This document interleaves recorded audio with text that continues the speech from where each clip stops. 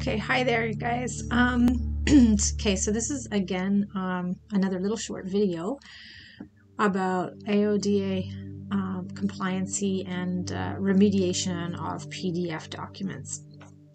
And so, what I'm going to speak about today is uh, references and notes within the paragraph, I mean, sorry, within the um, PDF tag tree so when you're going through a PDF tag tree, you kind of like click on each thing here. You have a figure, a paragraph, a heading, um, etc.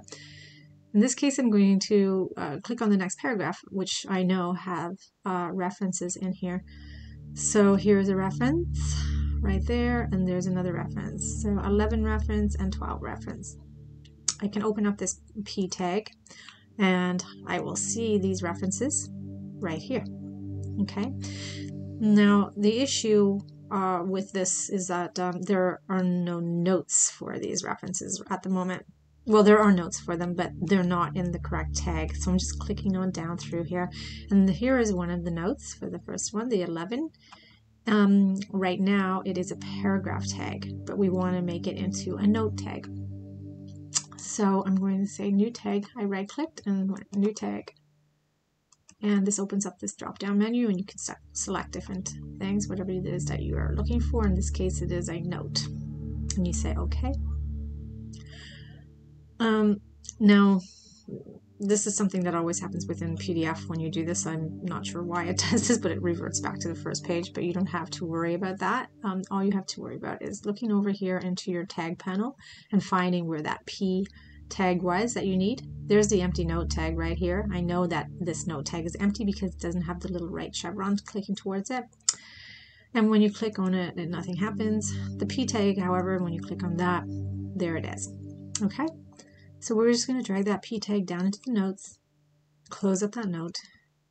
Now we're going to back up again and try to find where that reference was in here. So it wasn't in that paragraph, it was in this one and here it is. That's reference 11. You can click down to find it.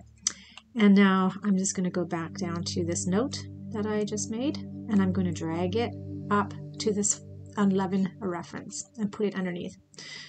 Um, I'm going to do the same thing again. This P tag goes to the 12 note. I want to make a new note. Yes. And again, it's right here. You pull that down into this note close your note up, go back up here and find that paragraph. And here's your second reference, 12. I mean, your 12 reference.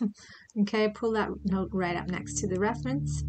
Okay, so there you see you have your 11 reference, 11 note, 12 reference, 12 note.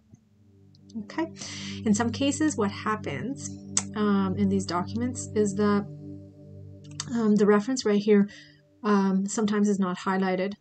So in that case, what you would need to do is uh, you have to create your own reference. So you would go to the um, reading order underneath the um, accessi accessibility uh, panel here. And you'd go to the reading order.